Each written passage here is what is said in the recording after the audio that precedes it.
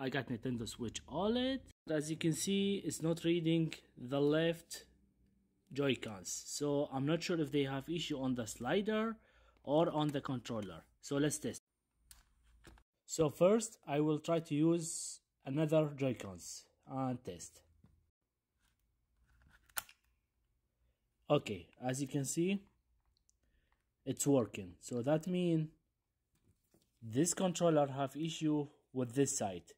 So let's open it and fix it. They have four screws. One, two, three, and four.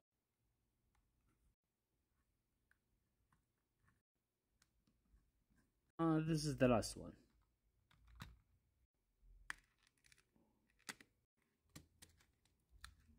And as you can see, the pins have some issue. So let's replace it. They have two screws here. This is the first one and this is the second.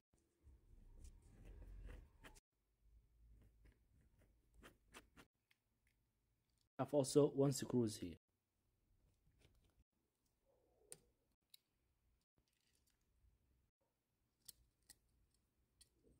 And this is a brand new slider. It's available on our shop.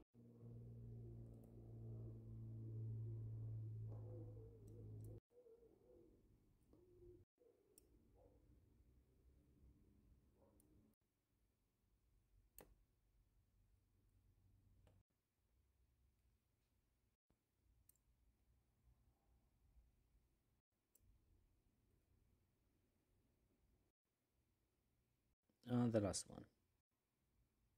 Say goodbye to bad guy.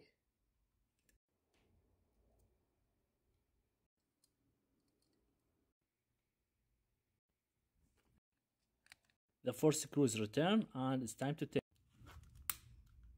Alright and it's fixed. The console is fixed. Thank you for watching. If you have any question please leave a comment